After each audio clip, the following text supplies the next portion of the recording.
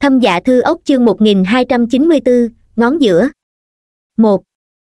Làm ông chủ của một tiệm sách, cửa tiệm vừa mới sửa sang lại không được bao lâu lại bị sự cố thấm dột trên diện rộng dẫn tới hư hỏng một lần nữa, chuyện này phẫn nộ đến mức nào chứ?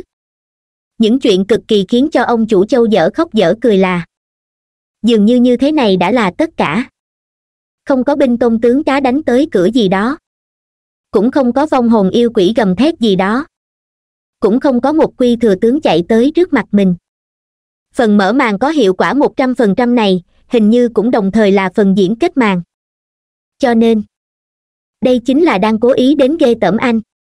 Nếu như trước đó bạn làm ra như vậy, sau đó sẽ xuất hiện, mọi người binh chống binh tướng chống tướng mà đánh một trận, đó cũng coi như thống khoái đi, nhưng lúc này, đây gọi là chuyện gì xảy ra chứ? Thật ra thì, không phải là đặc biệt đến để ghê tởm chúng ta đây cũng là một cách kích động trận pháp, mang theo chút cảm giác như ôm bom tự sát. Hứa thanh lãng mang khẩu trang đứng ở trước mặt châu trạch. Duy trì khoảng cách ước chừng hai mét với châu trạch. Trong mắt, có chút hả hê không hề che giấu. Cậu ta vừa mới giết cá, trên người cũng không có loại mùi vị đậm đà như ông chủ châu lúc này. Ông chủ, anh thật là lợi hại, anh đã sớm đoán được người này có vấn đề cho nên mới bảo tôi không nói hai lời cứ xông lên đập cho anh ta một quyền đúng không? Oanh oanh mặt đầy sùng bái nhìn châu trạch, đồng thời đi chuẩn bị quần áo mới cho châu trạch. Ha ha. Ông chủ châu cười một tiếng, lúc này, ngay cả tâm trạng hưởng thụ lời nịnh nọt mà anh cũng không có. Vàng cát giấu trong bụng cá, thật ra thì, đây không phải là đưa tiền tới, vàng cát này vốn là một phần nguyên liệu để khởi động trận pháp, những thẻ tre kia, có chút giống như những hình ảnh ban đầu khi trong khi trình chiếu powerpoint, mà đinh cương thi có lẽ chính là thủ đoạn công kích cố ý chuẩn bị để nhằm vào cương thi trong phòng sau khi khởi động trận pháp. Từ phương diện thiết kế mà nói, quả thật không tệ, chẳng qua là hứa thanh lãng nhìn oanh oanh một cái. Nói, giống như những lời oanh oanh vừa mới nói vậy, người vừa mới tới cửa, trực tiếp nói là muốn tìm anh, hẳn là muốn đợi tới lúc anh qua đây, lúc nhìn thấy anh mới tự nổ chính mình, ai biết được anh trực tiếp bảo oanh oanh đấm nổ anh ta nguyên bản là một trận pháp với uy lực có thể được gọi là hỏa tiễn, bị trực tiếp suy yếu thành pháo hoa. Xin anh đừng nên kinh thường pháo hoa. Châu trạch nhắc nhở. Ừm, được thôi. Ngoài ra, anh làm gì đó sớm một chút đi, bây giờ phân tích rõ ràng mạch lạc thì có ích lợi gì? Tôi đây là gia cát lượng hết chuyện. Hứa thanh lãng lui về phía sau mấy bước, nói. Anh có muốn đi tắm không? Ps gia cát lượng hậu kỳ gia cát lượng nổi tiếng về tài dự đoán tình thế, nhưng ở đây là hậu kỳ, có nghĩa là sau khi mọi chuyện đã diễn ra, nên cụm này có nghĩa trêu chọc, nhìn rõ ràng sau khi mọi chuyện đã xảy ra. Oanh oanh, đến tiệm nét ở đối diện dọn ra một căn phòng, tối nay tôi ở đối diện, ngoài ra, nghĩ biện pháp quét dọn nơi này sạch sẽ đi, chỗ này của tôi là tiệm sách, bây giờ thực sự là mùi còn nặng hơn so với thị trường hàng tươi sống nữa đấy. Vâng ông chủ. Ông chủ châu thay quần áo khác đi ra khỏi tiệm sách, anh dự định tắm trong tiệm nét ở đối diện, nếu không, sau khi tắm ở trong tiệm sách, sau khi tắm xong đi ra ngoài còn phải dính cái mùi này nữa. Hứa thanh lãng cũng đi theo, cùng nhau đi ra ngoài. Bên chỗ deadpool như thế nào rồi? Tạm ổn, tôi xử lý cho anh ấy rồi, chỉ là có chút thống khổ thôi, bây giờ còn đang dưỡng lại. Vấn đề lớn thì không có, vấn đề nhỏ có thể từ từ giải quyết được một phần cơ thể của anh ấy hóa thành cây dây leo vẫn luôn bảo vệ tiệm sách chúng ta. Lần này tiệm sách bị nguyền rủa, anh ấy đứng mũi chịu sào rồi, coi như là dưới tình huống bất ngờ không kịp đề phòng mà chịu thiệt thòi. Đúng rồi, cô gái da đen ra ngoài mua thuốc rồi. Mua thuốc. Thuốc trừ sâu. Được rồi. Không nghĩ ra là ai gây ra chuyện này sao? Đây là có thù oán với anh đấy. Hứa thanh lãng hỏi. Tôi không biết, tôi luôn luôn lấy việc giúp người làm niềm vui. Không sai, anh cũng đã học được cách trả bài rồi. Ha ha. Tôi đi tắm trước rồi, chờ tôi tắm xong. Ông chủ châu làm một động tác vương vai, sau đó lại đánh hơi được mùi tanh ở trên người mình. Tôi không quan tâm là ai làm, nhưng tên đó chết chắc rồi. Hứa thanh lãng nhún vai một cái, đợi nhìn thấy châu trạch băng qua đường xong, hứa thanh lãng tháo khẩu trang xuống, châm điếu thuốc không giống như dáng vẻ muốn cố ý dồn anh vào chỗ chết, càng giống như là chỉ đùa một chút. Nhưng trò đùa lần này, đùa không vui lắm nha, lần này hẳn là lão châu thực sự bị chọc cho phát bực rồi. Hứa thanh lãng lắc đầu một cái. Thành thật mà nói. Hiện tại cậu ta cũng có chút nhớ luật sư an rồi. Phỏng chừng trong lòng lão châu cũng giống như vậy đi. Gần đây phát sinh không ít chuyện, nếu như an bất khởi có ở đây, cũng có thể giao cho anh ta xử lý đương nhiên, lúc này lão an không có ở đây, chỉ có thể dựa vào đám người nhà mình thôi. Trận pháp này, có chút thú vị, chỉ là không biết được rốt cuộc là ai đã tạo ra nó mà thôi. Ném đầu thuốc lá xuống đất. Đế giày dẫm lên trên. Hứa thanh lãng hít sâu một hơi. Lần nữa đẩy mở cửa tiệm sách. Được rồi, tổng dọn dẹp thôi. Sau khi tắm sữa tắm bảy lần, châu trạch mới bước ra khỏi nhà tắm oanh oanh đã đặt quần áo chuẩn bị cho anh thay ở nơi này, quần áo mà anh đã thay ra trước đó đã được oanh oanh lấy đi giặt sạch. Chẳng muốn đi sấy tóc, mặc quần áo vào sau đó châu trạch đi tới bên cửa sổ, lặng lẽ rút ra một điếu thuốc. Ông chủ ông chủ. Lúc này, lão đạo đi từ cửa vào, sau khi nhìn thấy châu trạch lập tức chạy tới. Mẹ nó chứ, ông chủ, tôi đây vừa trở về thì đã phát hiện trong tiệm của chúng ta bị vũ khí sinh học tập kích châu trạch đau cả đầu, lúc này anh cũng không muốn hồi tưởng lại tình cảnh trước đó nữa, nếu không lại không nhịn được phải đi tắm lần nữa. Ông chủ, có phải là do người lần trước gửi hàng chuyển phát nhanh tới gây ra không? À! Châu trạch sửng sốt một chút. Chính là hai bé con lần trước kia, là chuyển phát nhanh đưa tới, lần này cũng là người đó làm đi, đúng vậy, cũng chỉ có người đó, đầu tiên là gửi người chết tới, đây là cảnh cáo, sau đó sẽ dùng kiểu tập kích ôm bom tự sát này đây là tuyên bố, tiếp đó, người đó sẽ muốn. Không phải là người đó. Châu trạch rất khó giải thích rõ được thân phận của người gửi hàng chuyển phát nhanh lần trước với lão đạo. Chẳng qua là, có một điểm châu trạch lại có thể chắc chắn được, lần này người gây ra trò đùa này, hẳn không phải là vị kia. Lấy tính khí cùng với tính cách và thân phận của vị kia, làm sao ngài ấy có thể gây ra mấy chuyện nhỏ mọn như vậy được? Huống chi, vị kia cũng không cần thiết phải làm như vậy nha trước đó châu trạch còn dùng mặt nạ màu bạc chơi đá đầu với búp bê yếm hồng kia bên trong không gian đặc thù đấy. Nhưng không bao lâu, hai vị đồng đội của khánh kia đã bị đóng thùng gửi tới. Chuyện này đủ để xác định. Lúc đó, người nói chuyện điện thoại và đá, quả banh với mình kia tuyệt đối không phải là hai đồng đội của khánh. Lại là ai? Một là không thể nói chuyện, hai là lại trẻ trâu chưa lớn như vậy. Thật là, nghịch ngợm quậy phá giống như một con khỉ hoặc là, đúng rồi, là một hầu tử. Không phải là người đó, vậy sẽ là ai chứ? Lão đạo còn cho là bản thân nắm giữ chân tướng thật sự, kết quả lại bị ông chủ nhà mình trực tiếp bác bỏ như vậy. Chờ sau khi quét dọn sạch sẽ tiệm sách xong, thì bắt đầu điều tra đi, lần này bất kể như thế nào, tôi cũng phải moi được cái tên đùa dai đó ra.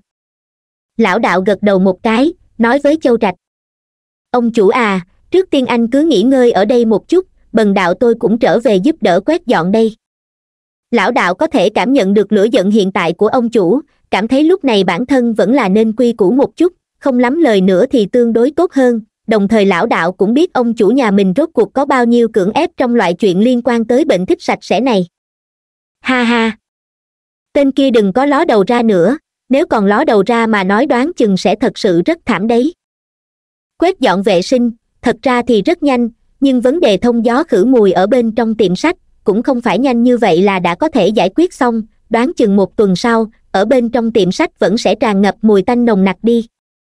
Có lẽ, chỉ có thể chờ đợi deadpool khôi phục như cũ, mượn dùng năng lực của anh ấy nở hoa một lần từ trên xuống dưới tiệm sách, mới có thể hoàn toàn tẩy sạch được hết cái mùi hôi tanh đó.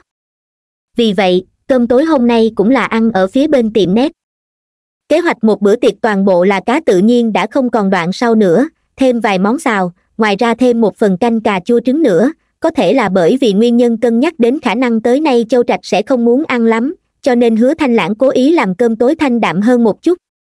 Tùy tiện ăn chút gì đó, châu trạch đã buông đũa xuống. Hứa thanh lãng cũng buông đũa ngay sau đó, cầm lấy một quyển sách cỏ từ trên bàn trà bên cạnh lên, nói, còn cái phù hiệu ở trong bụng cá không? Châu trạch có chút ngoài ý muốn, đồng thời cũng có chút vui mừng, nói. Làm sao, nhanh như vậy đã có phát hiện rồi? Tạm được đi, chỉ có thể nói, tìm được nguồn gốc của ký hiệu đó rồi, còn từ rất lâu nữa, tôi tra sách rất lâu mới tìm được nguồn gốc. Nói nghe một chút.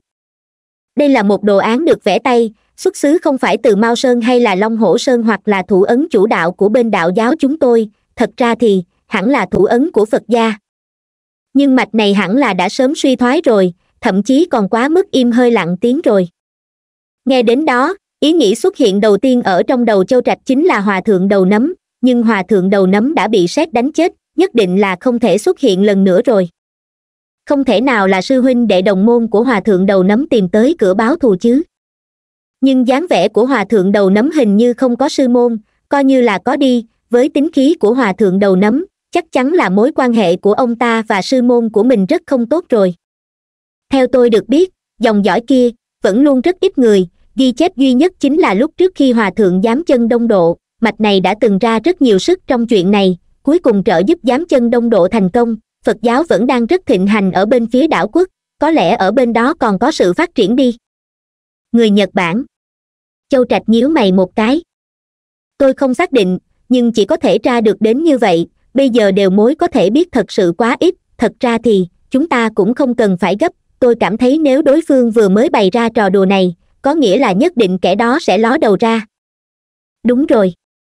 Anh có biết cái thủ ấn này đánh ra như thế nào không? Hứa thanh lãng mặt đầy vẻ nóng lòng muốn thử mà hỏi. Rõ ràng nói ra cái vấn đề này là cô ý muốn anh hỏi tiếp. Mau hỏi tôi, mau hỏi tôi. Tôi phải trả lời anh, tôi phải trả lời anh lý trí nói cho tôi biết phải nói không muốn biết, nhưng cảm tính lại khiến cho tôi rất tò mò. Khuôn mặt hứa thanh lãng lộ mỉm cười. Tôi biểu diễn cho anh xem. Tay trái chạm vào vị trí cùi chỏ tay phải. Bàn tay phải xếp lại thành quyền trước. Sau đó, giơ ngón tay giữa lên. Châu trạch nhìn ba giây. Nói, tôi học được một chút, anh xem thử xem học có giống hay không. Vừa nói ông chủ châu giơ tay lên với hứa thanh lãng. Ngón giữa. Nhìn hai người đàn ông đang dựng thẳng ngón giữa với nhau. Oanh oanh bất giác biểu môi một cái. Đã lớn như vậy rồi. Lại còn giống như mấy đứa nhóc chưa trưởng thành vậy. Đứng dậy. Thu dọn chén đũa. Lão đạo lau miệng, mang theo tiểu hầu tử, rời khỏi tiệm nét, đến tiệm thuốc ở đối diện. Dựa theo yêu cầu của ông chủ nhà mình mỗi ngày ông ta phải đi loanh quanh tiệm thuốc ít nhất ba lần, buổi sáng, trước khi mở cửa tiệm sách, sau khi quét dọn vệ sinh một chút, sau đó đến tiệm thuốc cách vách thăm hỏi sức khỏe một chút hỏi xem tối hôm qua ngủ có ngon hay không, tiếp theo mới quay về ăn đồ ăn sáng. Buổi trưa, sau khi ăn cơm xong, còn phải đi qua xem một chút, xem thử phương phương có ăn bớt khẩu phần ăn của mấy người bọn họ hay không. Sau bữa cơm chiều, trước khi đi hóng mát xong, còn phải đi qua một lần nữa thực hiện một chút xoa bóp tinh thần cho bọn họ, dù sao một người nằm viện thời gian lâu như vậy, rất dễ dàng xảy ra vấn đề trên tinh thần và thể xác, rất cần thêm một chút quan tâm và tình thương. Khánh vẫn không có động tĩnh, hai người bạn nhỏ kia vẫn không có hô hấp, không có nhịp tim, mỗi ngày lại càng ngoan ngoãn hơn nữa, phương phương đã từng nói, chưa từng thấy đứa bé nào nghe lời như vậy. Ông chủ bảo tôi đi tuần phòng nha, kiểm tra xong phòng a rồi lại kiểm phòng b phòng nha. Lão đạo rời đi hứa thanh lãng cầm quyển sách bên cạnh lên. Nói, tôi lại đi tìm thêm một chút, xem thử có thể phát hiện được đầu mối gì khác nữa hay không. Rất tiếc, dù sao tôi cũng không phải cảnh sát điều tra tội phạm chuyên nghiệp, cho nên không nên ôm quá nhiều hy vọng. Tìm hết nửa ngày mới tìm ra được một ngón giữa, anh muốn tôi ôm hy vọng bao nhiêu đây? Nói xong, ông chủ châu vừa lại đưa ra dấu ngón giữa với hứa thanh lãng. Thật ra thì người thực sự sẽ đi điều tra và cũng là người sẽ điều tra kỹ nhất, hiện tại còn đang nằm bên trong tiệm thuốc, chẳng qua là vị chủ nhân kia không quan tâm lúc này cô ta đang ngủ thật hay giả vờ ngủ, châu trạch cũng không dám sai khiến cô ta. Nếu như chờ đến lúc nào đó, ba đại lão đội cấp độ ất kia có thể đồng ý làm thủ hạ của anh. Ha ha. Đổi mấy người không đứng đắn đám nguyệt nha trịnh cường thành bọn họ. Vậy thật sự đúng là đổi nỏ thành súng rồi nhưng cũng chỉ có thể tưởng tượng mà thôi, trừ phi doanh câu thực sự khôi phục được ít nhất năm phần thực lực năm đó, còn đã có đầy đủ năng lực đáp trả được đám kẻ thù đến cửa trả thù, nếu không cuối cùng chuyện này cũng chỉ có thể dừng lại trong tưởng tượng của bản thân anh mà thôi. Chờ sau khi hứa thanh lãng cũng đi rồi, châu trạch nói với oanh oanh, người đang ở bên kia pha trà cho mình. Bạch hồ vẫn còn chưa quay về sao?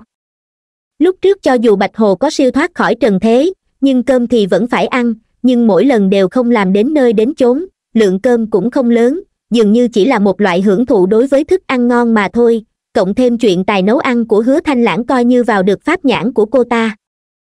Vẫn còn chưa về đây. Oanh oanh nắm ly trà đặt ở châu trạch trước mặt.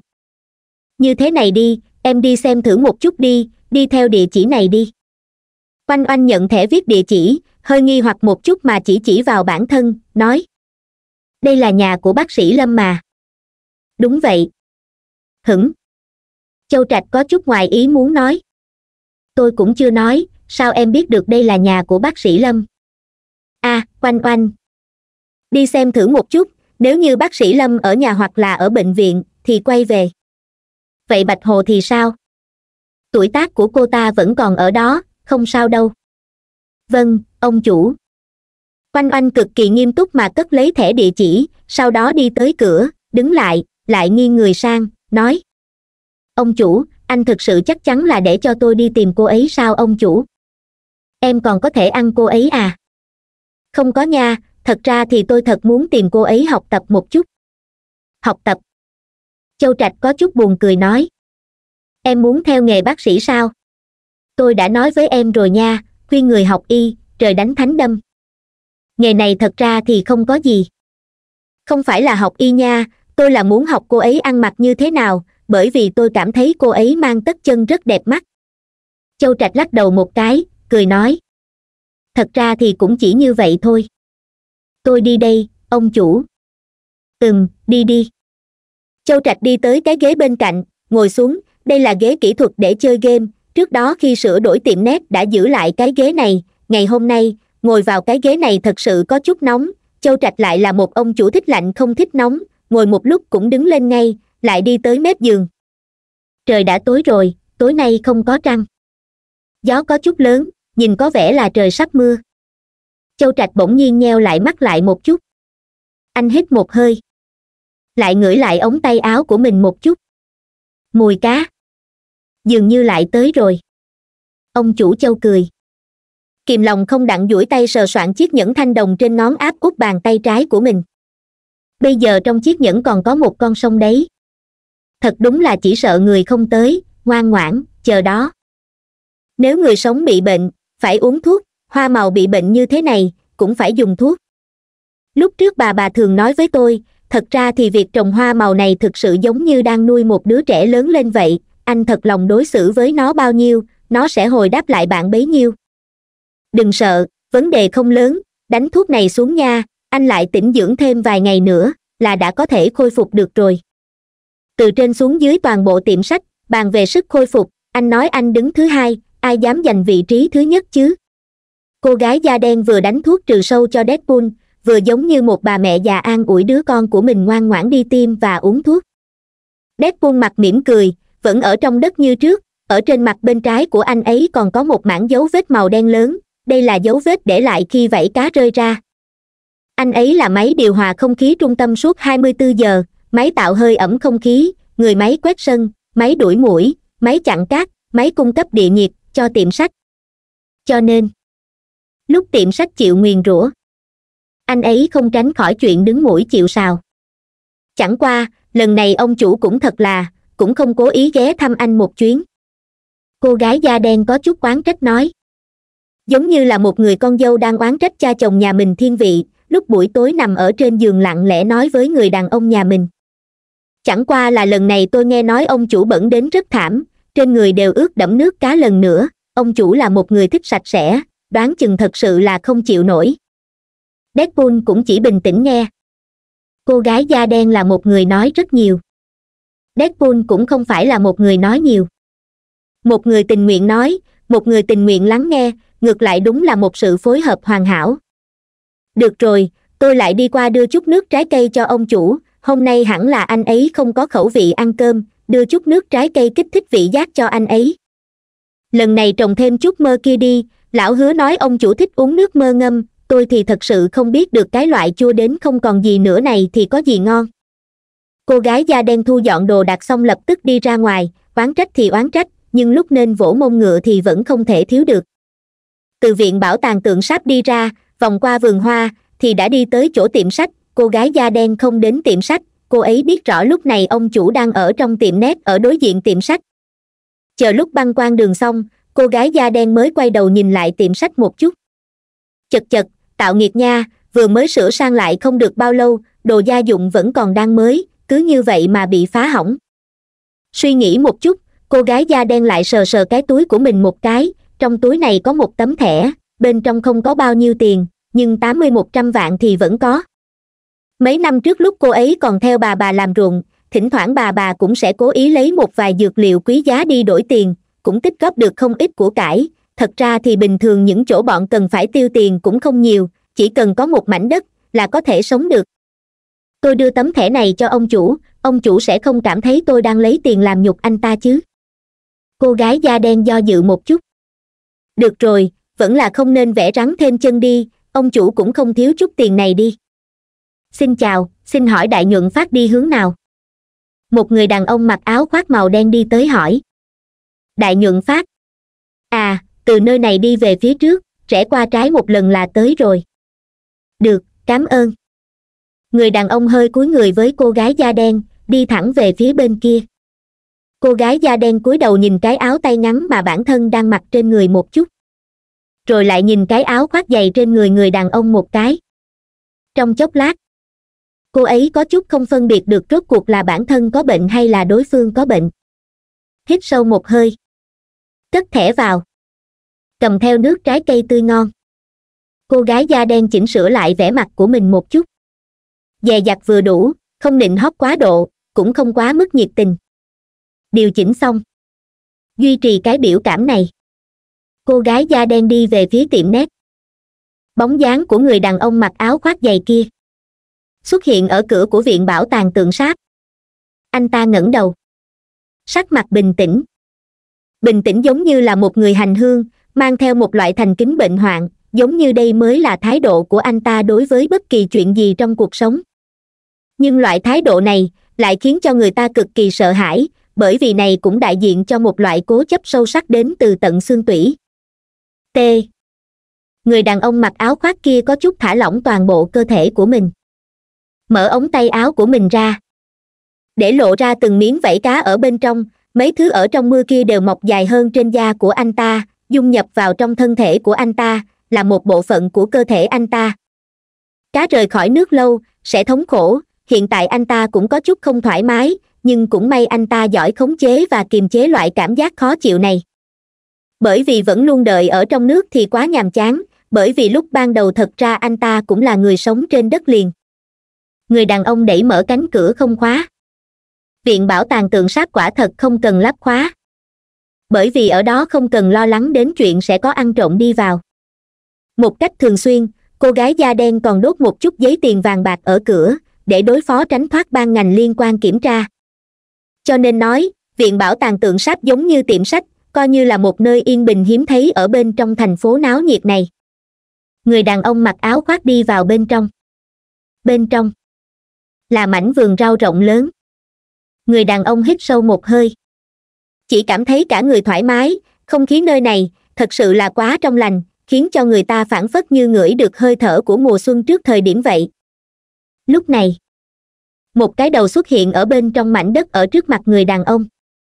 Ngay sau đó Deadpool bắt đầu từ từ, lớn lên. Càng ngày càng cao. Càng ngày càng lớn. Xuất hiện ngực, xuất hiện tứ chi. Biến thành một người kích thước bình thường. Anh ấy đứng ở trước mặt người đàn ông mặc áo khoác kia. Người đàn ông mặc áo khoác kia mỉm cười nhìn Deadpool. Deadpool lấy một loại vẻ mặt không hề bận tâm đáp trả lại anh ta. Hai người cứ như vậy nhìn nhau mà không nói gì trong suốt mấy phút. Rốt cuộc người đàn ông mặc áo khoác kia lên tiếng phá vỡ loại trầm mặc này trước. Anh ta mở miệng nói. Onisan. Sự yên lặng. Lại bắt đầu. Đây là một loại kiềm chế không tiếng động. Phản phất như cây cối trong đồng ruộng cũng đều cảm nhận được loại không khí này, bắt đầu hạ thấp cành cây của mình xuống theo bản năng. Rốt cuộc, Deadpool tiếp tục dùng một loại ánh mắt rất bình thản nhìn người đàn ông trước mặt. Chậm rãi mở miệng otuto bên trong tiệm sách, mùi cá vẫn chưa hoàn toàn tản đi, cho dù là căn phòng ở trên lầu hai, vẫn có thể ngửi được một chút mùi vị. Đây không phải là vấn đề xịt bao nhiêu nước khử mùi trong không khí là có thể giải quyết được. Hơn nữa, xịt quá nhiều nước khử mùi trong không khí, ngược lại càng khiến mùi vị lại khó ngửi hơn. Cũng may hứa thanh lãng không để ý đến chuyện này, làm một đầu bếp, chút sức đề kháng này vẫn phải có, cũng chỉ có loại người đời trước làm bác sĩ như lão châu mới có thể dưỡng thành cái loại thói quen dở hơi như vậy ha làm màu lật xem sách cổ ở bên cạnh điều chỉnh máy điều hòa không khí đến 23 độ C. Một năm này, tự cậu ta thu gom, những người khác trong tiệm sách cũng thu gom giúp cậu ta, tóm lại, số lượng sách tích trữ rất lớn, phần lớn đều là những tài liệu liên quan đến phương diện huyền học. Thật ra thì hứa thanh lãng cũng không ôm bao nhiêu hy vọng với chuyện bản thân có thể tra ra được đầu mối gì đó có giá trị. Bởi vì trước đó, tìm nửa ngày cậu ta cũng chỉ tìm ra một cái ngón giữa mà thôi. Nhưng tóm lại là muốn tìm một chút chuyện gì đó để làm cũng không thể quá nhàn rỗi tìm được thì coi như là tốn công tìm kiếm không tìm được thì coi như xem chút sách giết thời gian mà thôi lần này lão châu lần này bị mùi cá chọc cho xù lông rồi. Nếu như cậu ta lại còn không có chuyện làm mà tiếp tục không lo lắng không sốt ruột đắp mặt nạ dưỡng da nữa thật sự có chút không tốt. Trên danh nghĩa châu trạch chưa tính là ông chủ của cậu ta, nhưng xét trên hình thức của hoàn cảnh hiện tại, trên thực tế, người đứng đầu tiệm sách, dù sao vẫn là châu trạch anh. Xoa xoa mi tâm. Uống một hớp trà. Hứa thanh lãng bỗng nhiên cảm giác vị trí ngực đau quặn một trận. Cậu ta lập tức dùng một tay ôm lấy lồng ngực của mình, đồng thời có chút khó tin nói. Sao vậy? Đây là đang hỏi. Bởi vì trừ đoạn thời gian lúc cậu ta vừa mới phong ấn hải thần ra tới nay đã qua một thời gian rất lâu chưa từng xuất hiện tình huống tương tự rồi. Tất cả mọi người bình an vô sự. Đều âm thầm chấp nhận loại cục diện này với nhau. Lúc không có chuyện gì, cũng sẽ không cố ý đi quấy rầy đối phương, nếu đã không thể nào cắt đứt được, cũng đều khó có thể chịu được cái giá của sự xung đột với nhau như vậy vậy thì coi như, chưa từng xảy ra chuyện gì đi. Hứa thanh lãng một tay kết ấn, chỉ vào cái đĩa chu sa ở bên cạnh một cái lúc này chu sa trong đĩa bắt đầu nổi lên, ngay sau đó, bắt đầu trải ra ở trên bàn sách, tạo thành hình tượng một cái đầu rắn. Đầu rắn rất sinh động, đầy một loại cảm giác chuyển động.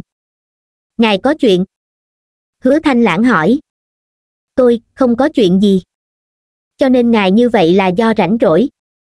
Hứa thanh lãng cười một tiếng, thật ra thì, mỗi lần đối mặt với ý chỉ hải thần, hứa thanh lãng đều phòng bị rất sâu đây không phải là đại yêu ngốc manh không rành thế sự gì đó, mà là một bà già sẽ báo thù, biết chơi trò găng tay trắng sẽ tẩy sạch cho bản thân. Kẻ có chuyện là các người.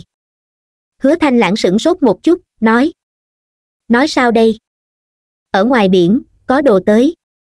Ánh mắt hứa thanh lãng đông lại một phen, đồng thời lại cảm thấy có chút hoang đường, mọi người với nhau làm người xa lạ quen thuộc nhất đã lâu rồi, đột nhiên hải thần đại nhân nhiệt tình như vậy một phen thật sự là rất không quen được. Là con cá kia. Tôi không biết. Vậy thì có chuyện gì đã xảy ra? Ở ngoài biển, có đồ tới. Ngài là máy lặp lại sao? Ở ngoài biển, có đồ tới.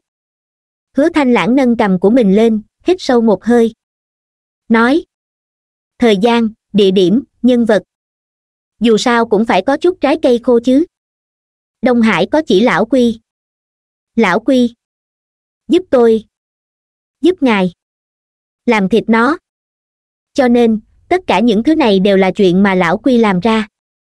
Không đúng, chúng tôi lại không quen biết lão quy kia. Hứa thanh lãng tin tưởng mặc dù ông chủ châu rất cá mặn. Nhưng hình như thực sự không có bạn bè gì ở bên trong đại dương. Hơn nữa với tác phong trước sau như một lấy việc giúp người làm niềm vui của ông chủ châu. Hứa thanh lãng cho là nếu như ông chủ châu thật sự kết giao bạn bè với một lão rùa tinh ở ngoài biển, anh đã sớm nên gọi cho cậu ta làm một bàn đồ ăn với nguyên liệu thức ăn là thịt rùa rồi. Chính là dạo chơi nhân gian. Truyền nhân của rùa. Hứa thanh lãng bỗng nhiên đưa tay chỉ chính mình, nói, giống như tôi. Trong ba năm, tôi sẽ hóa giao. Chúc mừng, cố gắng lên, vậy ngài phải cố gắng học tập nhiều hơn một chút, làm thêm chút đề thi mẫu không để ý tới lời trêu chọc của hứa thanh lãng.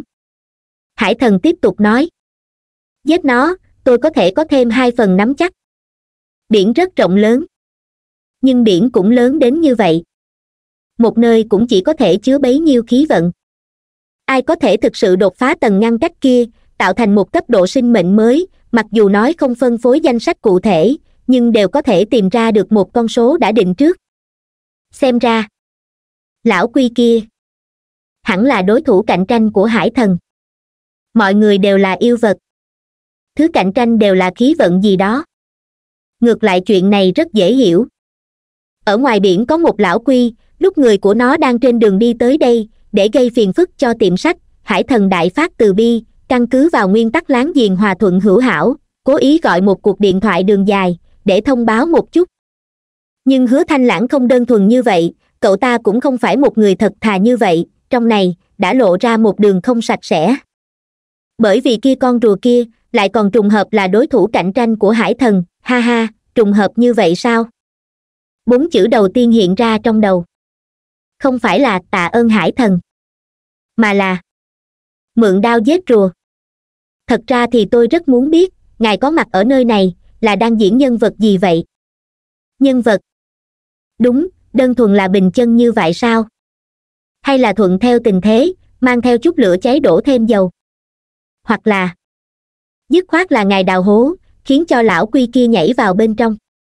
Khác nhau ở chỗ nào sao? Tôi không biết rốt cuộc là ngài có biết được thân phận thực sự của ông chủ tiệm sách của chúng tôi hay không, nhưng ngài nên hiểu rõ rằng, anh ấy rất khó dây vào, có lẽ anh ấy thực sự rất mặn, cũng rất lười, nhưng nếu như ngài thực sự chọc tới anh ấy, chọc tới thì thế nào? Thông thành có giáp với biển. Ha ha.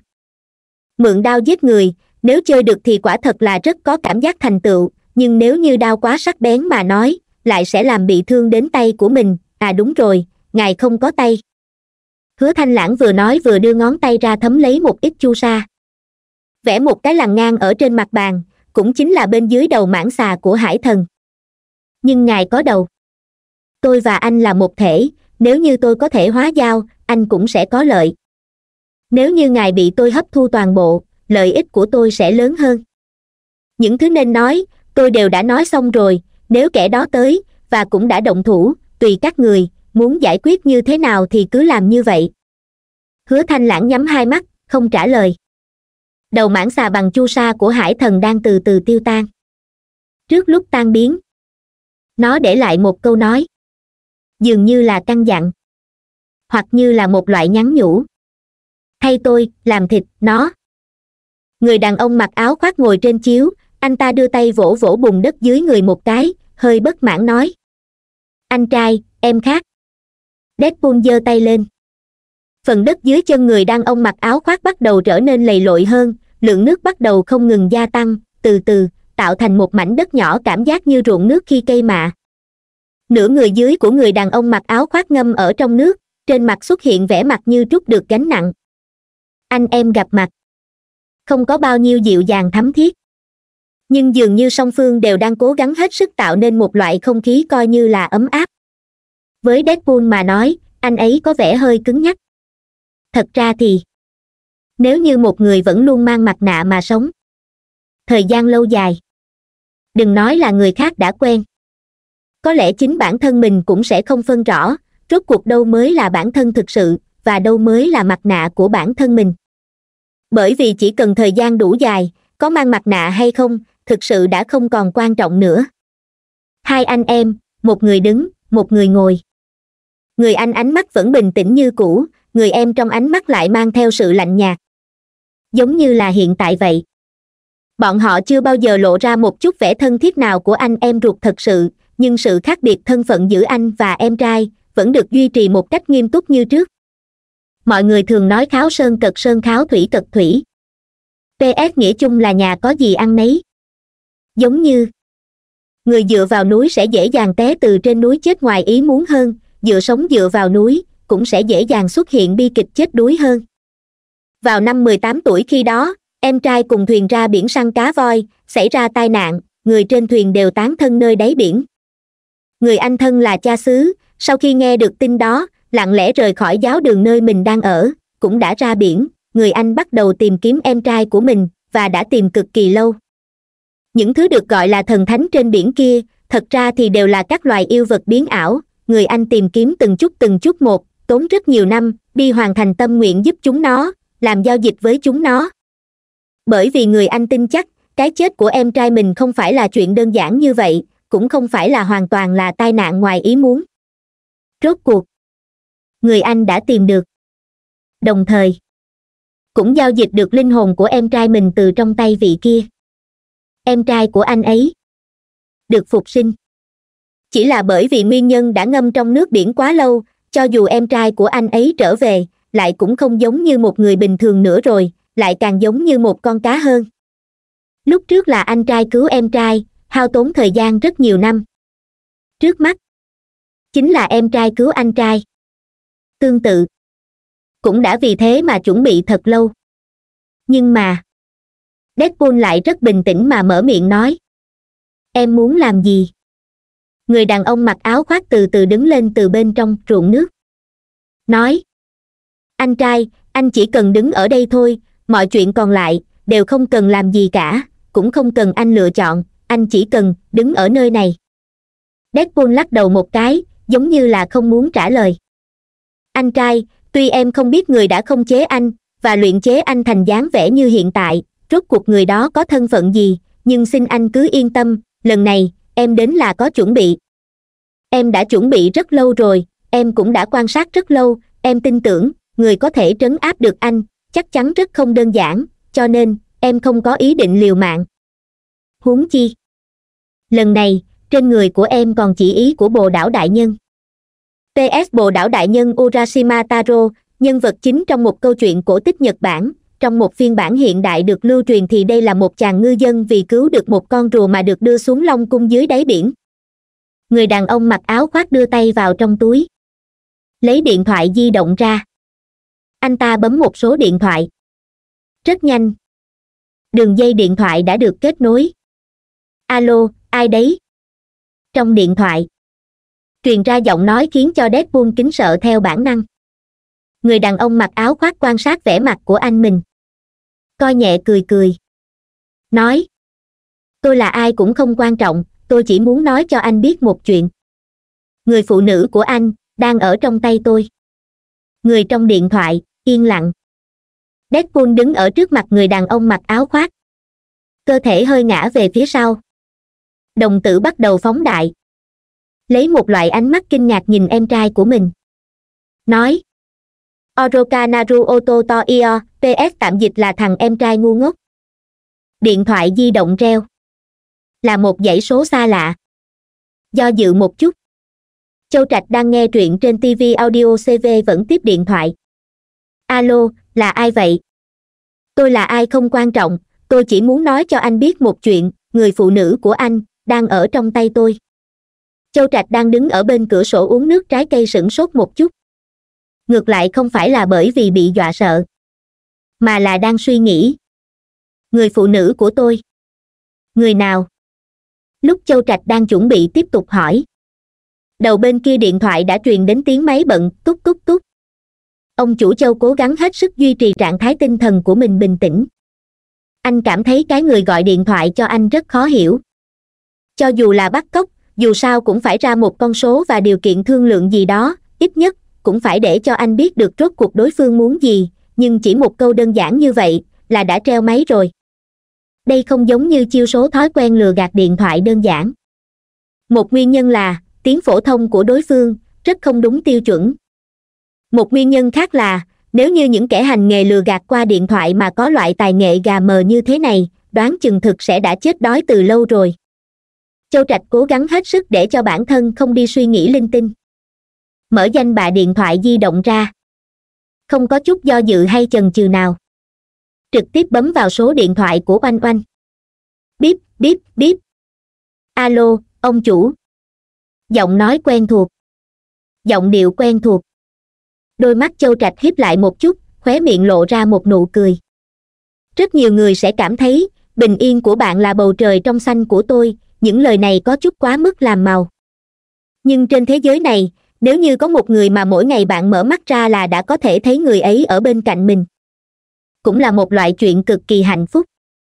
Oanh oanh, là em sao? Vâng. Oanh oanh ở đầu bên kia điện thoại dường như có hơi nghi ngờ, ông chủ, anh làm sao vậy? Oanh oanh à. Vâng ông chủ. Kêu hai tiếng nghe một chút. Anh anh anh. Được rồi đã xác nhận giọng nói xong là hàng chính hãng ban đầu. Ông chủ, rốt cuộc là có chuyện gì vậy? Không việc gì, chỉ muốn nghe tiếng một chút thôi. Ơ a hì hì. Được rồi, cúp máy đây. Vâng ông chủ.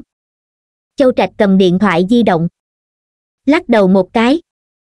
Đúng vậy. Mình nghĩ nhiều quá rồi. Ai sẽ đi bắt cóc oanh oanh chứ? Ai có thể bắt cóc được chứ? Nhưng nên hỏi thì vẫn phải hỏi mọt phen, nếu không trong lòng mình sẽ bất an. Chốc lát, ông chủ châu lại bắt đầu suy nghĩ về định nghĩa người phụ nữ của mình một chút. Do dự một chút, cuối cùng vẫn gọi đến điện thoại của bác sĩ lâm. Thật ra thì, hẳn cô mới là người phụ nữ của anh trên phương diện luật pháp. Nhưng mà, rất nhanh thì điện thoại đã được kết nối. Alo, ông chủ châu trạch lấy điện thoại di động từ bên tai đưa tới trước mặt. Xác nhận lại số điện thoại một chút. Không sai nha. Từng. ông chủ ngươi còn có chuyện gì sao? Tôi châu trạch suy nghĩ một chút nói. Lại kêu một tiếng xem. Anh anh anh. Từng, rất tốt. Hửng em đang ở đâu? Tôi đang ở nhà của bác sĩ lâm nha cô ấy vừa đi lấy tất chân cho tôi rồi nói là phải phối hợp phong cách cho tôi qua nha. Trong nhà bác sĩ lâm có rất nhiều tất chân nha. Ông chủ, anh thích màu gì vậy? Ha ha. Cô ấy đang ở nhà đúng không? A đúng rồi. Đây là điện thoại di động của bác sĩ lâm mà. Ông chủ, tôi để cho cô ấy nhận điện thoại. Không cần, tôi chỉ cần xác nhận một chút, có phải cô ấy đang ở nhà hay không? Có phải là đang ở bên cạnh em hay không? Đúng vậy, ở nhà nha. Cô ấy tới đây lâm tiểu thư nghe điện thoại ông chủ của tôi chồng của. À, ờ ừm. Điện thoại đây. Alo. Trong điện thoại truyền đến giọng nói của bác sĩ lâm. Là cô. Cô cũng không sao. Có chuyện gì không? Cô ấy không quấy rầy cô chứ? Không có đâu chúng tôi ở chung rất tốt. Nếu là đàn ông bình thường nghe được cái loại chúng tôi chung đụng rất tốt như thế này. Đoán chừng một cách tự nhiên, trong đầu trong đầu đã xuất hiện loại hình ảnh một một mũi tên hạ hai con chim rồi. Nhưng mà, châu trạch thì lại đang lầm bầm. Vậy cái tên dở hơi vừa mới gọi điện thoại cho anh kia. Rốt cuộc anh ta bắt cóc ai? Vậy thì tốt, không có chuyện gì. Ừm. Cúp điện thoại. Ông chủ châu đưa tay chống cằm. Bắt đầu suy nghĩ về nhân sinh, tôi còn có người phụ nữ nào nữa sao? Có người rất nhiều người phụ nữ. Lúc trước châu trạch xem báo còn nhìn thấy một nhà quý tộc ngã ngựa, mỗi lần quy tắc ngầm với một người tình mới xong, cũng đều sẽ giữ lại một cọng lông, lâu ngày, lại còn làm thành mấy cây bút lông. Nhưng loại tình huống này không tồn tại ở chỗ ông chủ châu. Không phải, anh giữ mình trong sạch đấy. Lần trước từ chuyện mà từ nhạc dị dạng kia đã gây ra, có thể khiến cho châu trạch phân tích ra được nhân quả trong nháy mắt đó cùng là nhờ tác phong sinh hoạt tốt đẹp, giữ mình trong sạch, nhất quán của anh. Nghĩ đi nghĩ lại. Từ đầu đến cuối ông chủ châu vẫn không thể nghĩ ra được người thứ ba có thể gắn với thiết lập, người phụ nữ của mình là ai. Không nghĩ ra. Châu trạch lại gọi về số điện thoại xa lạ mới vừa rồi kia. Rất nhanh. Bên kia cũng nhận điện thoại. Alo, xác nhận được rồi chứ? Phát âm tiếng phổ thông rất không đúng tiêu chuẩn lại lần nữa phát ra xác nhận được cái gì? Còn nữa, rốt cuộc là loại tự tin mù quáng của anh đến từ đâu vậy? Tôi. Anh không cần nói gì hết, tôi chỉ muốn anh đáp ứng tôi hai chuyện. Một là, một chiếc nhẫn thanh đồng, hẳn là anh có, bây giờ hẳn là anh đang đeo trên ngón tay của anh đi. Châu trạch nghe vậy. cúi đầu nhìn chiếc nhẫn thanh đồng trên ngón áp út bàn tay trái của mình một cái. Đối phương nhìn trúng chiếc nhẫn này, hồ tinh kia chỉ mới dọn vào ở gần đây chắc là không phải tới vì hồ tinh. Chiếc nhẫn thanh đồng này, ngoại trừ việc có thể tạo thành kết giới ra, dường như không còn tác dụng gì khác. Ông chủ châu không biết là, chiếc nhẫn này, thật ra thì tác dụng lớn nhất chính là ngăn cách, cũng không phải là kết giới được hình thành bằng phương pháp nhân tạo, mà là kết giới được hình thành từ sức mạnh, vô hình. Món pháp khí này, nếu mang khi độ kiếp, có thể phát huy ra công hiệu rất mạnh, có thể góp phần trợ lực rất lớn ông chủ châu không cần độ kiếp, cho nên không có loại cảm giác và hiểu biết này. Thứ hai, anh trai tôi tôi muốn mang đi, anh phải cởi bỏ xiềng xích cho anh ấy. Anh trai anh. Anh trai tôi, chính là cái vị bị anh trồng vào trong đất kia.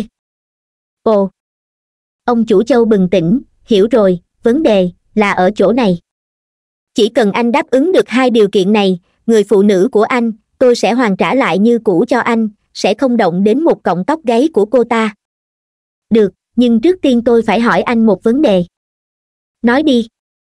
Con cá buổi sáng hôm nay là do anh đưa tới sao? Món quà nho nhỏ, không bày tỏ hết được tấm lòng. Khách khí khách khí rồi. Ngài nói quá lời. Anh chờ đó, tôi lập tức đến đó. Tôi chờ anh tới, cởi bỏ xiềng xích giúp cho anh trai tôi. Sau giao dịch lần này, anh lấy được hữu nghĩ của biển cả. Được rồi được rồi, đây là vinh hạnh của tôi, vô cùng vinh hạnh. Tôi rất thích kết bạn cùng loại người như ngài đây, xin thứ lỗi, trước đây là tôi đường đột, hy vọng chuyện đó sẽ không ảnh hưởng đến tình hữu nghị sau này của chúng ta. Sẽ không sẽ không đâu. Bởi vì là ai cho anh dũng khí cho anh lần tưởng là bản thân còn có sau này? À đúng rồi, thuận tiện đưa điện thoại di động cho anh trai của anh được không? Tôi muốn nói với anh ấy mấy câu. Được thôi, tôi hiểu mà, ngài là một người trọng tình cảm. Nói bóng gió chính là, nếu không biết anh là một người trọng tình cảm, tôi cũng sẽ không dùng đến phương thức bắt cóc để ép anh đi vào khuôn khổ. Điện thoại di động. Được chuyển cho deadpool. Giây lát. Châu trạch nói với điện thoại di động. Anh ta là em trai của anh. Đầu bên kia của điện thoại di động truyền đến một tiếng vâng rất nhỏ. Nhưng tôi không nhớ là đã có đứa con trai như anh ta. Yên lặng. Thế nhưng cũng không kéo dài thời gian quá lâu. Bởi vì deadpool biết rõ, đầu bên kia điện thoại di động sẽ không cho anh ấy thời gian yên lặng quá lâu. Rốt cuộc, deadpool trả lời, tôi hiểu rồi. Phụ thân đại nhân. Cúp điện thoại châu trạch cất điện thoại di động vào trong túi, đi về phía cửa. Ông chủ, anh phải đi đâu vậy nha? Cô gái da đen vừa mới đưa nước trái cây tươi mới tới cho châu trạch, thuận tay dọn dẹp lại gian phòng cho anh, đúng lúc này cũng đi ra. Thành thật mà nói, cô gái da đen hiện tại so với lúc đầu khi vừa quen biết, thay đổi thực sự rất lớn, cô ấy lúc đó, ngây thơ hồn nhiên, mặc dù luôn là kiểu vừa mở miệng thì sẽ là loại ngôn ngữ kinh người của bà bà. Bây giờ thật ra thì cũng ngây thơ hồn nhiên hồn nhiên đến mức toát ra khí chất của người vợ. Đến viện bảo tàng tượng sáp. Châu trạch không có ý định lừa gạt cô ấy. Trong toàn bộ tiệm sách chỉ có cô ấy thân thiết với deadpool nhất. Deadpool có thể có phát triển như hôm nay, cũng là thành quả cô ấy tận tâm chăm sóc. Thật ra thì, rất nhiều lúc, châu trạch đều sẽ theo bản năng tránh đi những chuyện liên quan tới vấn đề rốt cuộc có nên đánh thức deadpool là ai hay không bởi vì biểu hiện từ đầu tới cuối của deadpool. Đều không chê vào đâu được. Tuyệt đối là loại tử trung trong tử trung. Thêm vào đó, có cô gái da đen, người rất hiểu tình thế, ở bên cạnh anh ấy, châu trạch cảm thấy, anh ấy có thức tỉnh được trí nhớ trước kia hay không, thực sự không có gì quan trọng. Thứ anh có thể cho anh ấy, người khác không cho được, đi theo anh lăn lộn, khẳng định có tiền đồ nhất. Nhưng hiện tại, có chút vấn đề lại không thể tránh được nữa rồi. Nói cho cùng, còn là do anh quá lười biếng rồi. Cái vấn đề này, hẳn là từ lúc luật sư an cho deadpool xem naruto là phải chú ý rồi mới đúng. Viện bảo tàng tượng sáp cô gái da đen kinh ngạc một chút. Cô ấy là một người phụ nữ thông minh. Cộng thêm, có lẽ phụ nữ thật sự có một loại giác quan thứ sáu đặc thù đi, nhất là còn áp dụng lên trên người thân thiết nhất của mình. Cùng với vẻ mặt hiện tại của châu trạch. Cùng với loại giọng nói lãnh đạm này. Anh ấy sao rồi, ông chủ? Có phải là anh ấy đã làm sai chuyện gì hay không? Anh ấy không có. Châu trạch trả lời. Ít nhất, hiện tại còn chưa có. Nói xong. Châu trạch đi về phía cửa. Không không, ông chủ, thực sự, anh ấy thực sự trung thành, tôi có thể cảm nhận được anh ấy đối xử với ngài giống như cha là xuất phát từ nội tâm. Anh ấy không còn là anh ấy lúc trước nữa. Thật sự không phải. Anh ấy là học sinh mới, giống như cương thi, không có quan hệ với những chuyện đã qua. Thực sự đấy, ông chủ. Đôi tay của cô gái da đen nắm lấy cánh tay của châu trạch. Thân thể của cô ấy đã phát run, cô ấy sợ. Sau đó, cô ấy lại trực tiếp quỳ gối với châu trạch. Ông chủ, tôi cầu xin anh, tôi cầu xin anh bất luận anh ấy có làm sai chuyện gì hay không, cầu xin ngài cho anh ấy một cơ hội, cầu xin ngài cho anh ấy một cơ hội, thực sự thực sự cầu xin ngài đấy. Hẳn là cô biết anh ta tới đây bằng cách nào chứ? Tôi tôi biết. Vậy cô có biết tại sao anh ta có thể sống được tới hiện tại không? Tôi tôi. Bởi vì anh ta chưa từng phạm sai lầm, một lần cũng không có. Vâng. Tôi hy vọng, lần này, cũng giống vậy châu trạch đưa tay, kéo bàn tay đang nắm chặt lấy tay anh của cô gái da đen ra, tiếp tục nói. Bởi vì, anh ta căn bản không có chỗ cho sai lầm, một chút cũng không có. Cô gái da đen vẫn luôn biết rất rõ tính cách của châu trạch, trên thực tế, thăm dò tính cách của ông chủ lớn nhất vốn là công việc cơ bản nhất của cấp dưới. Nói dễ nghe một chút, gọi là thanh thản lạnh nhạt, mà nói khó nghe một chút, chính là lười cùng với cá mặn. Bởi vì anh sợ phiền phức, chẳng muốn đâm đầu vào phiền phức cho nên sẽ còn cố ý bóp chết nguy cơ từ khi vừa mới xuất hiện. Máu lạnh. Dường như chưa tới mức đó. Nhưng chính là loại lãnh đạm này. Có lúc lại càng đáng sợ hơn so với máu lạnh. Cô gái da đen đi theo sau lưng châu trạch đi về phía viện bảo tàng tượng sáp cô ấy không dám đi theo quá gần, cũng không dám kéo ra khoảng cách quá xa, bởi vì tâm thần hốt hoảng, thậm chí cô ấy còn làm ra động tác cùng tay cùng chân rất buồn cười. Hốt hoảng là bởi vì quan tâm cô ấy biết rõ, kết cục của deadpool, thật ra thì được quyết định ngay khoảnh khắc ông chủ bước tiếp viện bảo tàng tượng sáp và nhìn thấy thái độ của anh ấy.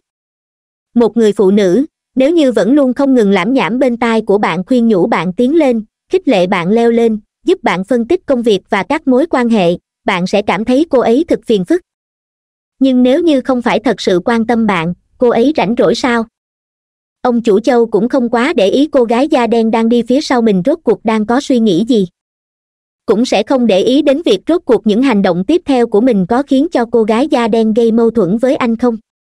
Giống như trước đó, một người thông minh như cô gái da đen cũng sẽ không ngu xuẩn đến mức lợi dụng điểm yếu về chuyện bỉ ngạn hoa làm tiền đặt cược để uy hiếp người khác. Cô ấy không ngốc đến như vậy, cũng không ngu đến như vậy, không nói ra, có lẽ còn có chút hữu dụng, nói ra rồi có lẽ thật sự đúng là chán sống rồi. Chuyện về rượu bỉ ngạn hoa, có thể không nói, nhưng có một chút tình cảm, lại không thể không cầu xin.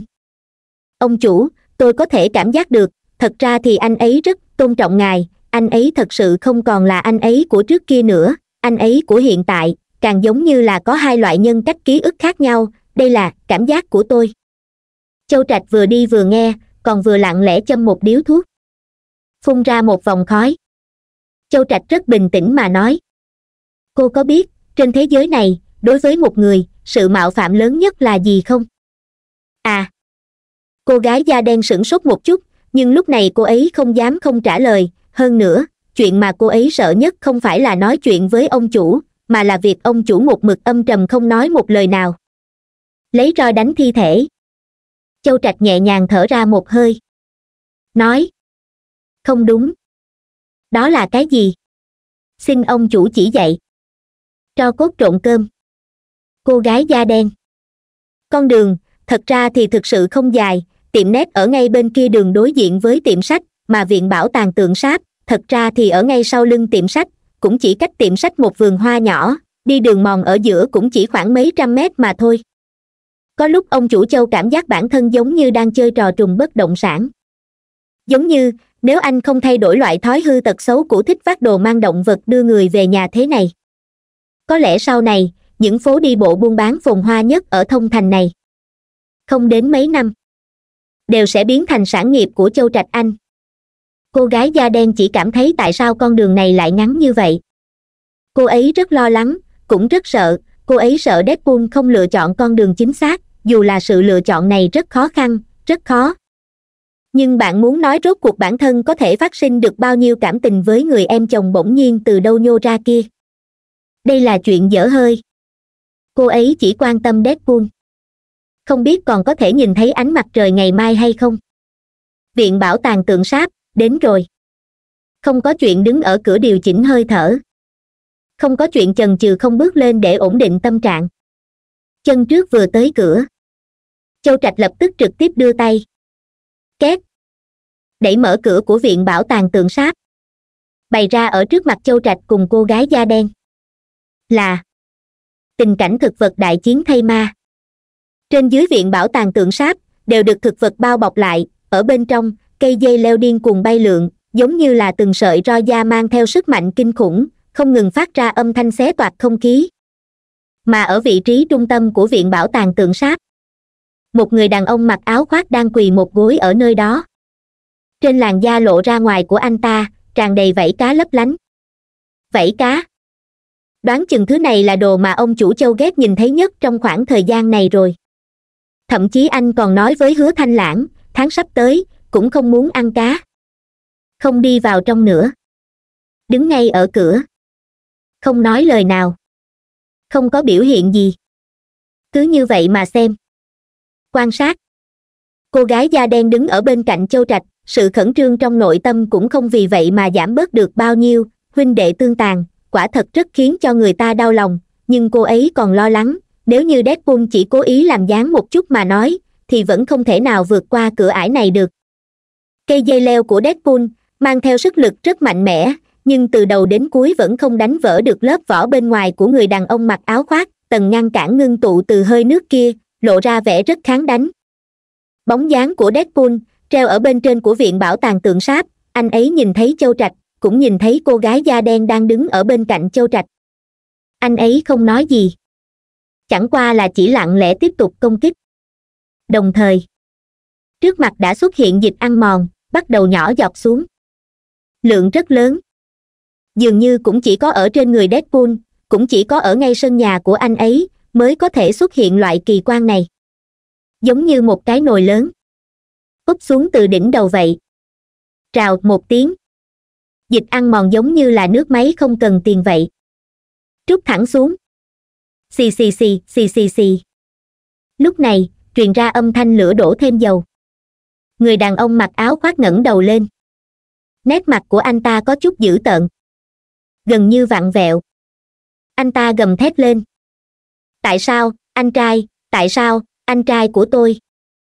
Ngài nhìn đi, tâm của anh ấy vẫn hướng về ngài, ông chủ. Lúc này, cô gái da đen bắt đầu thổi gió bên tai. Châu trạch cười không nói. Như thế này. Còn chưa đủ. Lúc này, biểu cảm của cô gái da đen có chút khó coi. Đột nhiên. Cô ấy có chút thương tiếc cho deadpool, thương tiếc cho người đàn ông đã sớm chiều chung sống với cô ấy trong nửa năm nay nồi dịch ăn mòn đầu tiên, chẳng qua là chỉ ăn mòn được thành mấy cái hố trên tầng bảo vệ của người đàn ông mặc áo khoác kia, lại không có thể phá vỡ được tầng ngăn cản này. Sau đó, là thứ nồi thứ hai. Sau đó nữa, là nồi thứ ba. Rốt cuộc, người đàn ông mặc áo khoác cũng di chuyển, anh ta không cách nào tiếp tục kéo dài loại trạng thái bị động chịu đựng này được nữa.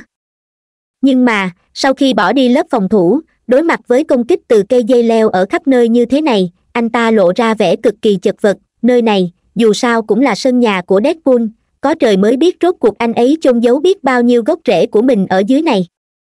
Dùng một câu không khoa trương mà nói. Hiện tại deadpool muốn cho mảnh đất nho nhỏ này mọc ra loài cây gì, nó sẽ có thể mọc ra được cái nấy. Tầng tầng lớp lớp. Ngăn cản dày đặc, sức mạnh kinh khủng, cho dù là tốc độ của bản thân người đàn ông mặc áo khoác rất nhanh nhưng vẫn không thể chịu nổi, anh ta lần lượt trúng đòn, lần lượt bị đánh trúng, nhưng xương cốt bên trong, cho dù là không còn tầng bình chướng kia bảo vệ như trước, vẫn có vẻ cứng rắn như trước. Không hổ là truyền nhân của rùa. Nếu không có chút bản lĩnh kháng đánh này, lúc đi ra ngoài chào hỏi với người khác cũng thật ngại mất mặt đi. Châu trạch có chút tiếc nuối, hiện tại lão hứa không có ở đây, nếu không ngược lại có thể tiến hành một trận pk hoàn thành, vừa dùng rắn vừa dùng rùa, đại chiến rùa và rắn lại thêm chút biện pháp nghệ thuật tu chỉnh, khoa trương thêm một chút, có thể diễn thành trận đại chiến chí tôn của thanh long cùng huyền vũ đấy. Chẳng qua đây cũng chỉ là mơ mộng nhất thời mà thôi. Để cho lão hứa cởi trần như động vật nguyên thủy sống chết một trận với người ta ở nơi như thế này, không phải là không bỏ được, chỉ là luôn cảm thấy có chút thật xin lỗi hình tượng trước sau như một của lão hứa. Rốt cuộc, người đàn ông mặc áo khoác không chịu nổi dường như anh ta không định tiếp tục sống chết với anh trai mình ở nơi này. Cơ thể giống như một con cá đang bơi. Bắt đầu nhanh chóng lao về phía cửa của viện bảo tàng tượng sáp. Xông tới trước mắt châu trạch. Một loại tâm tình vui sướng bùng cháy trong đáy lòng của cô gái da đen. Cô ấy không cảm thấy nguy hiểm. Không phải bởi vì lúc này cô ấy đang đứng ở bên cạnh châu trạch, mà là bởi vì căn bản là cô ấy không nghĩ đến nguy hiểm gì đó. Thứ cô ấy nghĩ tới chính là người em chồng này rất hiểu chuyện nha. Biết rõ anh trai của mình khó xử. Cho nên để không để cho anh trai của mình khó xử nữa. Anh ta trực tiếp xông tới trước mặt ông chủ. Sau đó chính ông chủ sẽ ra tay giải quyết anh ta. Sau đó là vạn sự đại cát. Người cần khó xử cũng không cần khó xử nữa. Người cần ấy nấy cũng không cần ấy nấy thêm nữa. Chuyện này coi như kết thúc tại đây. Nhưng mà điều khiến cho cô gái da đen bất ngờ là châu trạch. Không nhúc nhích. Anh vẫn cứ đứng nguyên như vậy. Đứng. Đứng yên. Lúc người đàn ông mặc áo xông tới bên cạnh châu trạch. Đã giơ cánh tay lên. Để lộ ra gai xương trên nắm tay. Châu trạch vẫn bất động như trước. Phốt. Gai xương đâm vào thịt. Thứ bị đâm vào. Cũng không phải thịt của châu trạch bởi vì vào một khắc cuối cùng. Deadpool xuất hiện ở trước mặt châu trạch, thay châu trạch đỡ được một kích này. Người đàn ông mặc áo khoác mặt đầy khiếp sợ. Anh! Deadpool giang hai cánh tay. Ông lấy người đàn ông mặc áo khoác. Vô số cây dây leo xông tới trói chặt. Đồng thời, từng cây từng cây gai một dựng đứng ở trên cây dây leo. Bắt đầu đâm vào bên trong cơ thể của người đàn ông mặc áo khoác. A a a! Anh ơi! Deadpool há miệng. Cắn về phía vị trí cổ của em trai mình. Kết quả của nhát cắn này. Chính là cần cổ tan vỡ. Phải biết deadpool thế nhưng đã lấy được truyền thừa của châu trạch, sau đó lại có một phần phù văn từ truyền thừa của doanh câu được châu trạch truyền cho anh ấy. Tuy nói, nhìn anh ấy như thích bị trồng ở trong đất, nhưng trên bản chất, anh ấy vẫn là một con cương thi kinh khủng. Ầm một luồng hơi nước xuất hiện trước mặt người đàn ông mặc áo khoác. Sau đó nổ tung. Nhiều mảnh lá chuối tây tản ra ở trước mặt châu trạch, ngăn cản thương tổn thay cho châu trạch cùng cô gái da đen đang đứng ở bên cạnh châu trạch, nhưng chính bản thân anh ấy lại bị nổ đến mức trước người đều là hố lõm xuống, không ngừng có nước màu xanh lam chảy tràn ở trên người. Lá chuối tây tản đi. Người đàn ông mặc áo khoác lui về giữa trung tâm của viện bảo tàng tượng sáp. Vị trí trên trán xuất hiện một dấu ấn đầu rùa. Trên phương diện khí tức, cũng tăng lên một nấc thang rất lớn so với trước kia. Anh ta nhìn thấy anh trai của mình mới vừa bị nổ đến thê thảm như vậy. Ngược lại lại đưa mắt về phía châu trạch.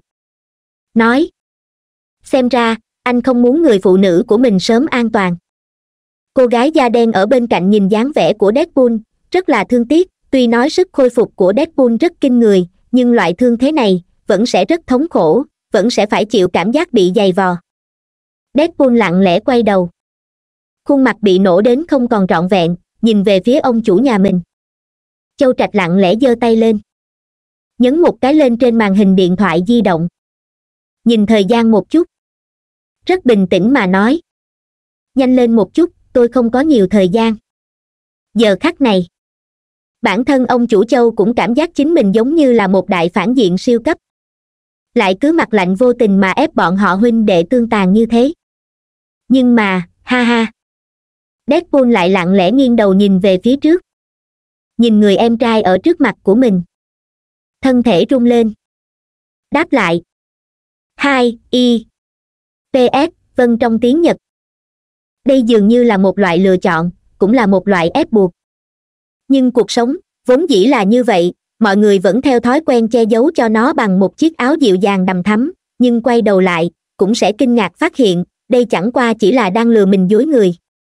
Ông chủ châu không ngại deadpool sẽ nghĩ thế nào về anh trong đáy lòng. Mặc dù vào một số tình huống anh ấy sẽ gọi anh là phụ thân. Nhưng mọi người trên dưới tiệm sách đều biết rốt cuộc mối quan hệ của ông chủ và deadpool là quan hệ như thế nào. Để cho người còn sống tới hiện tại, vốn đã thuộc về một loại nhân đức của châu trạch, dĩ nhiên cũng có thể nói chuyện này là do anh lười. Với một người đã từng chơi trò cho cốt trộn cơm với anh. Có thể bao dung và kiên nhẫn đến ngày hôm nay.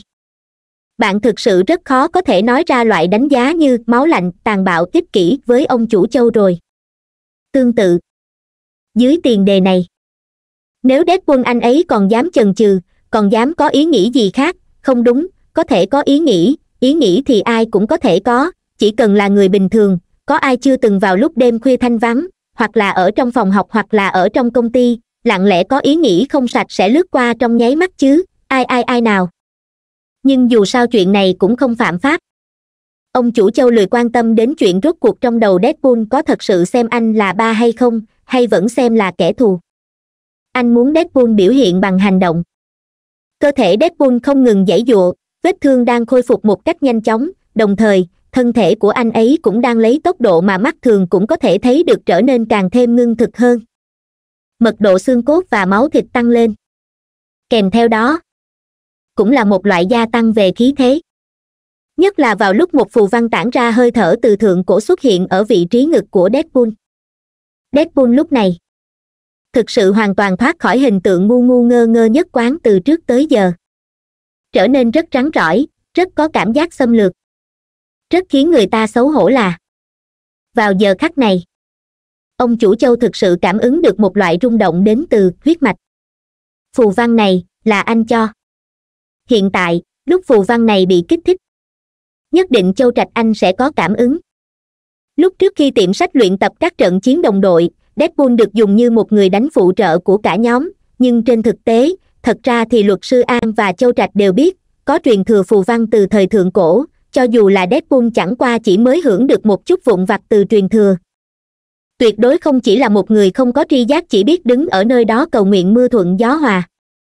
Trên trán người đàn ông mặc áo khoác đã có một dấu ấn hình đầu rùa màu đen, anh ta nhìn thấy anh trai mình xuất hiện loại biến hóa như thế này.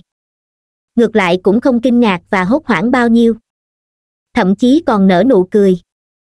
Nụ cười này khiến cho gương mặt vốn dĩ đã dữ tợn và đầy dơ bẩn của anh ta trở nên càng thêm vặn vẹo và méo mó. Nhưng bạn có thể cảm nhận được một loại vui sướng phát ra từ nội tâm. Anh ta đang thực sự vui mừng vì anh trai của mình. Cặp anh em này, thật đúng là bệnh hoạn cả đôi. Em trai chết, anh trai gắn gượng, cứu sống anh ta, chẳng qua là biến thành một ngư nhân. Ps khác với nhân ngư, thường nhân ngư được hình dung giống với nàng tiên cá còn ngư nhân được hình dung là một loài trong World of Warcraft là một giống loài với đặc điểm cá nhiều hơn, gần như giống cá, có thể hình dung là mỹ nhân ngư và người cá trong One Piece. Anh trai cũng đã chết, hiện tại anh trai cũng đã sống lại rồi, người ta là thực vật đại chiến thay ma, con hàng này là một món đồ trang sức một người đóng hai vai, bạn cũng không thể nào nói rõ ràng được, rốt cuộc là deadpool đã sáng tạo ra một sản phẩm mới cho thực vật hay là mở ra huyết thống mới cho cương thi. Nhưng hai bọn họ nhìn nhau còn thật cao hứng, thấy được tiền đồ của đối phương, bản thân cũng đủ hài lòng. Ông chủ châu cảm thấy hai anh em này thực sự có thể đóng gói đưa đi đóng phim cho loại phim khổ vì tình rồi, tuyệt đối là diễn xuất có màu sắc riêng. Sau đó, chính là một quá trình cực kỳ khô khan rồi.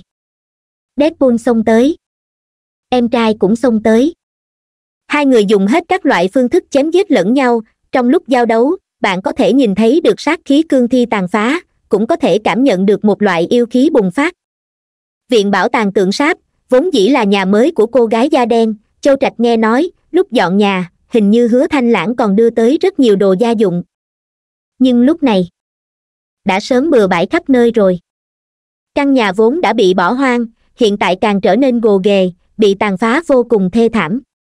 Thật ra thì ông chủ châu còn nghĩ đám bộ tộc giúp doanh câu thủ hộ vương tọa bạch cốt lúc trước kia có còn phái người đi qua xem thử một chút, hoặc là vẫn luôn để ý nơi này hay không, nhưng lâu như vậy rồi, bên kia lại vẫn chưa có động tĩnh gì. Lúc trước, khi ông chủ châu đi lên hư ảnh vương tọa bạch cốt, đã thu được không ít chi phiếu trống của đám ma thần, những kẻ năm đó đã bị doanh câu giết sau đó dùng xương làm đệm chân vương tọa kia, có thể rút được tiền hay không thì ông chủ châu cũng không dám chắc nhưng nếu như lại có cơ hội lừa gạt thêm mấy ma thần tới làm tay chân. Đoán chừng có thể trải qua cả đời an nhàn.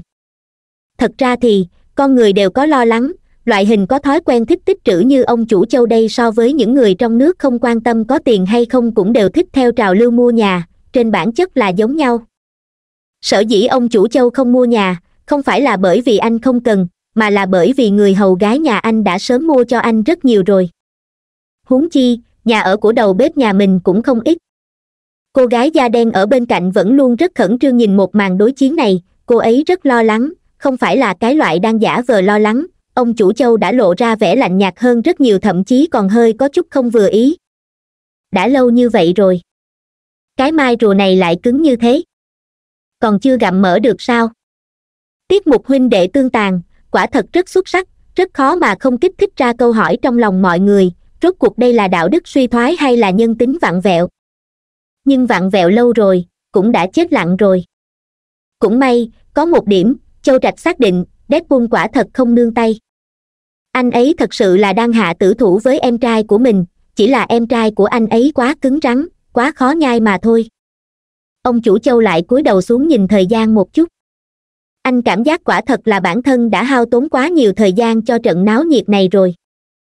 Huống chi hiện tại anh còn đang có một thắc mắc. Cái người em trai hài hước này, rốt cuộc đã bắt cóc ai? Nếu thấy hay thì nhớ like và đăng ký kênh để ủng hộ mình nha.